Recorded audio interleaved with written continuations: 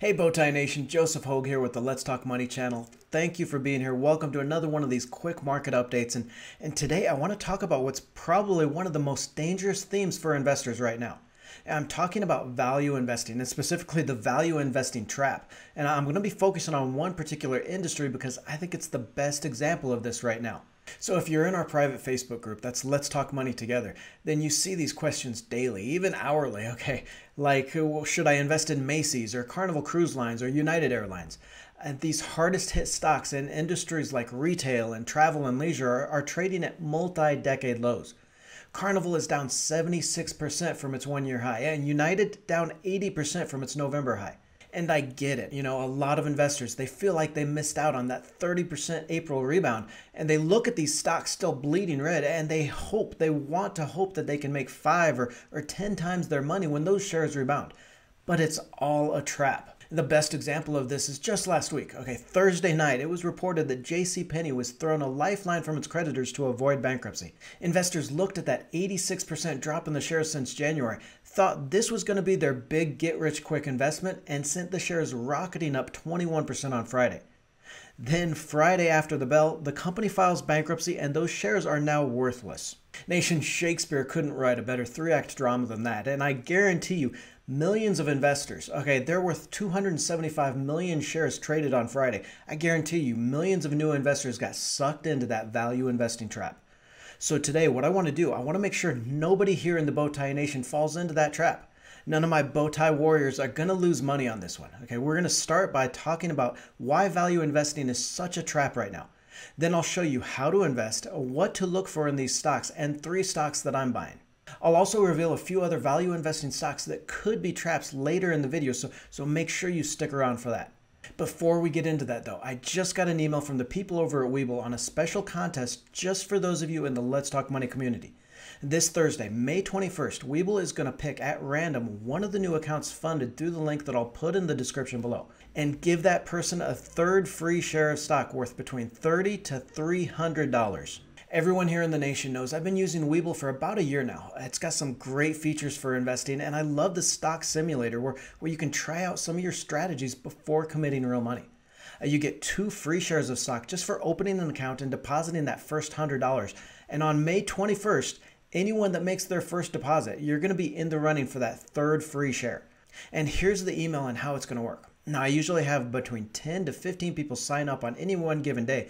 So I think we can easily be in that second row here. And somebody is going to get a free share of Walmart for over $120. So look for that link in the description below and you can open your account today, but I want you to wait until Thursday. That's May 21st to make your deposit so you get in the running for that third free share of stock. Uh, also, if you subscribe to the channel, I'll be doing a reminder video on Thursday, so you'll get your heads up and won't forget about that. Now, I'll be the first to admit that those value stocks are really tempting right now. Shares of Macy's were four times higher just as recently as January compared to the five bucks a share right now, and traded as high as $70 a share in 2015. That is a 1400% return if the shares make it back to there at some point. Uh, you know, and the reasoning goes that these value stocks is, is that people will always buy clothes or they're always going to be flying in airplanes, right? So these big brands must rebound eventually. And it's true that we will always have an airline industry, okay? United Airlines, Delta, they will still be around. But that doesn't necessarily mean that the current investors are going to be. You know, remember, every major airline has filed bankruptcy at some point, uh, some of them multiple times you know, when that happens, their debts are restructured. Uh, the airline eventually comes back to the market with a new stock IPO, but all of those previous investors were totally wiped out. So just because something is cheap doesn't make it a good value. The market is just so disconnected right now from the economic reality that it's expecting everything is going to just bounce back to normal immediately, and, and that's just not going to happen, folks. We are going to see a lot more of these value stocks file bankruptcy, and investors are going to lose a lot of money. Now, there is still money to be made. It's just not by jumping into these value traps you see in the market. Okay, it's not in turning away from these stocks that have jumped in the last few months. Okay, uh, for as an example, for anyone that like myself that's grew up driving on icy roads for four months out of the year, what's the best way to get out of a skid? You turn into the skid. You point your wheels in the direction you're going, and that's how you get control of the car back, and that's how you're going to get control of this market. And if there's one single stock that's benefited from all of this, it's Amazon, ticker AMZN, with shares up 27% just since January.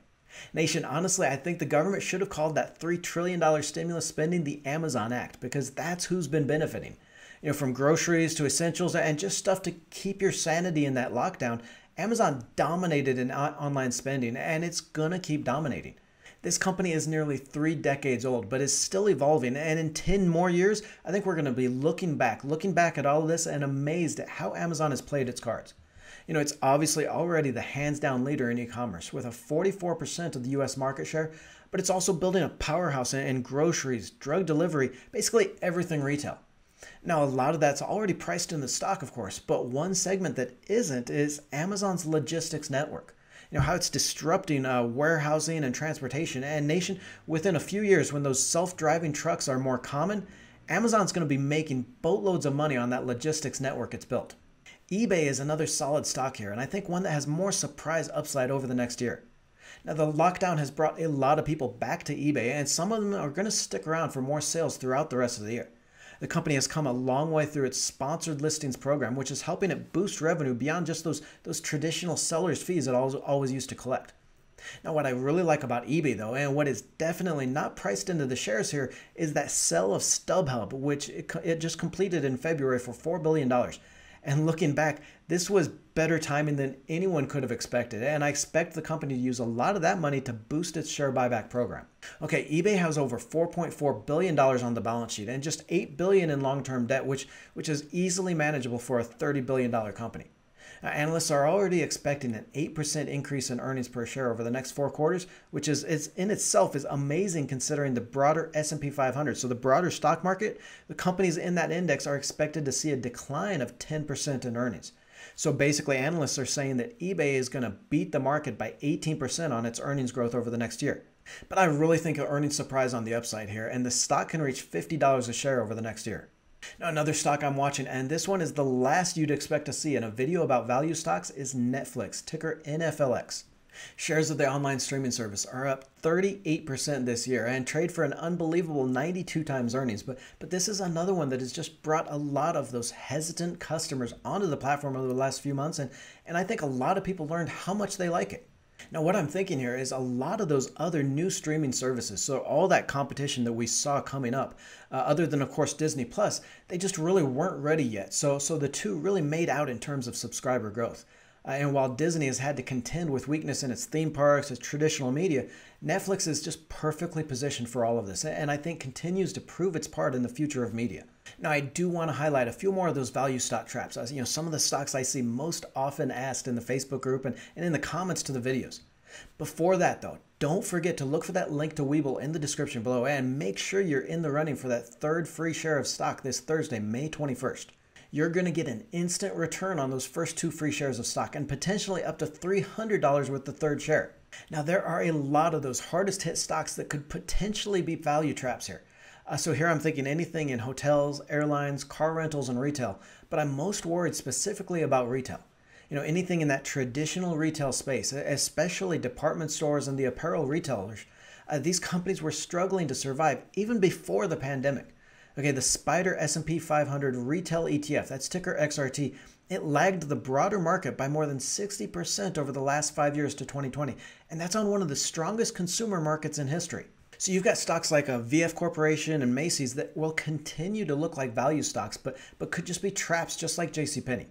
Now I'd also avoid some of those related real estate stocks, so the REITs that own retail and mall space like Simon Property Group you know, these stocks are just not going to be safe until we see how bad the recession is really going to get and, and which are likely to avoid bankruptcy. Click on the video to the right for which stock sectors will rebound faster and how to invest your money in any economy. Don't forget to join the Let's Talk Money community by tapping that subscribe button and clicking the bell notification.